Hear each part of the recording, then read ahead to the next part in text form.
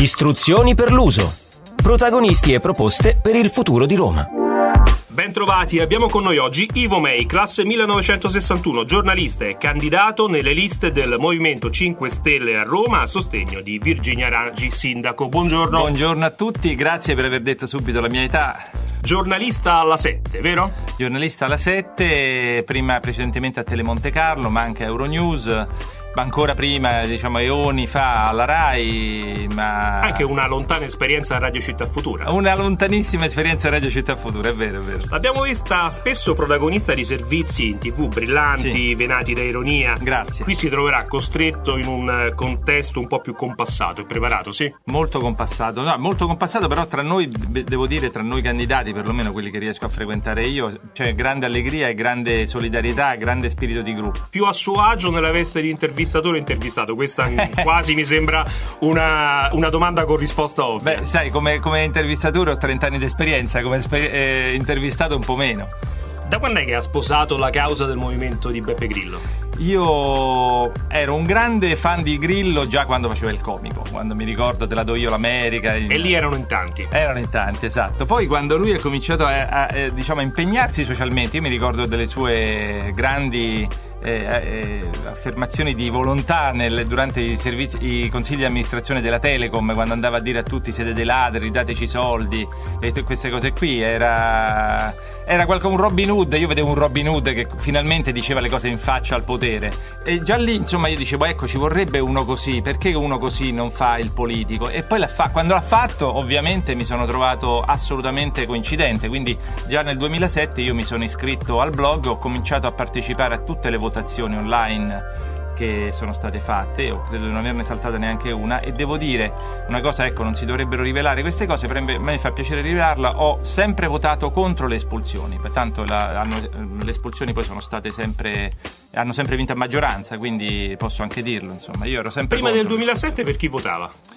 Prima del 2007 io devo confessare, come ha fatto anche Virginia Raggi, che votavo per eh, quello che ora è il PD. Ma non è un peccato. No, no, per carità, Beh, era di sinistra, per cui... Tutti veniamo da qualche parte, insomma, c'è gente che ha votato tantissimi partiti, ah, certo, se lei certo. ne ha votati soltanto due, in fondo è quasi nella media nazionale. no, poi eh, ho una cosa da rivelare, che questa forse non lo sa nessuno, perché si è st- tanto detto, no, il papà di, di, di Battista e lo studio della Raggi. Beh, anch'io se volete, allora volete infierire, mio papà è stato candidato negli anni 70 per Stella e Corona. Ecco, ora ho fatto questo outing. Stella e Corona, chissà chi I monarchici, i monarchici. Più, infatti, i monarchici.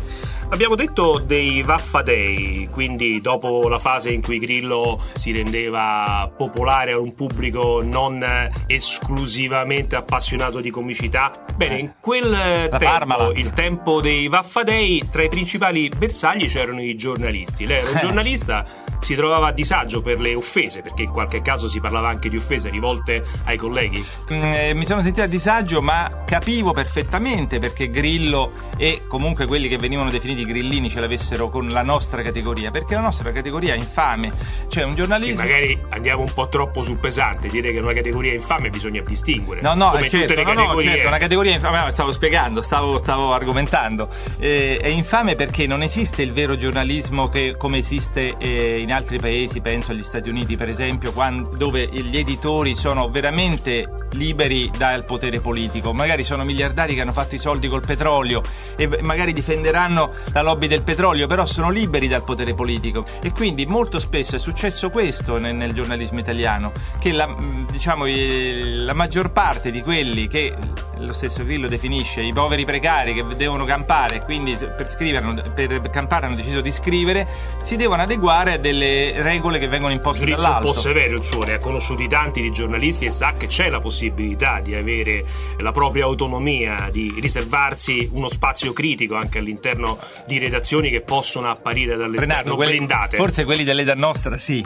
ma se pensiamo ai giornalisti che escono dalle, dalle scuole, che hanno adesso 20-25 anni e che... Eh, de- vengono pagati 7 euro a pezzo, sicuramente questi non hanno la libertà che abbiamo avuto noi di scrivere. Ha seguito senz'altro il confronto TV fatto Sì, a Sky TG24 sì, ho seguito lei, però a tra tratti, però- i cinque candidati. Sì. Che le è sembrato? Le chiedo un giudizio Sì, quasi tecnico, da Beh, giornalista, da collega. Eh, sono appuntamenti utili? Che, ti- che le devo dire? Con quelle regole, eh, peraltro, eh, esatto, strette, mi sembra una cosa molto. cioè si, si cerca di fare show a tutti i costi su delle cose anche molto serie. Eh, dare 30 secondi, un minuto, quello che aveva, un minuto mi pare, per, per rispondere a delle domande che richiederebbero 5 anni di consigliatura mi sembra veramente poco. Mi sembra eh, utile solamente da un punto di vista per avvicinare tutti quelli che magari non andrebbero a votare, incuriosirli e dire ma sì, ma quasi quasi ci vado perché quello mi sta simpatico, però certamente non sono dirimenti dal punto di vista politico. Alla 7 Mentana immagino potuto farlo un confronto così però. Eh, Mentana sì, Mentana vorrebbe stare tutti i giorni con dei politici attorno e, e interrogarli, diciamo. Perché solo un confronto TV? Sembra che a non renderli possibili sia stata proprio la volontà della Raggi di non farlo. Cos'è il solito vizio di chi si crede in testa nei sondaggi No. che non vuole No, correre no, il rischio di perdere no, terreno? non penso sia questo, non penso sia questo.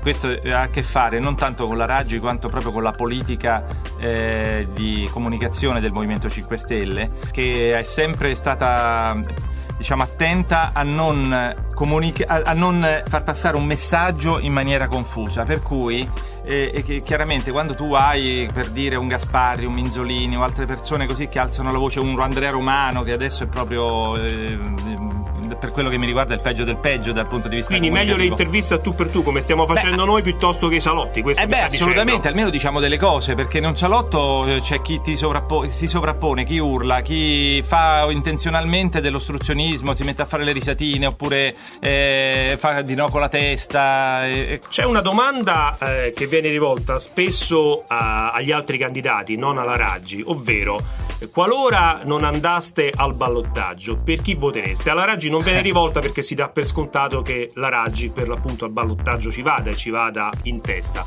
Ecco, io la giro a lei la domanda. Qualora non dovesse andare al ballottaggio del Movimento 5 Stelle, lei per chi Sì, sì, voterebbe? ecco, ti eh, la ringrazio per questa domanda personale, non è eh, ovviamente la mia risposta non, non investe il Movimento 5 Stelle perché il Movimento 5 Stelle fate tante teste e ognuno ragionerà come vuole.